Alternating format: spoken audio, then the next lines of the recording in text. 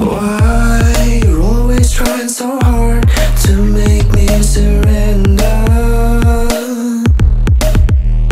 Why you always in my face?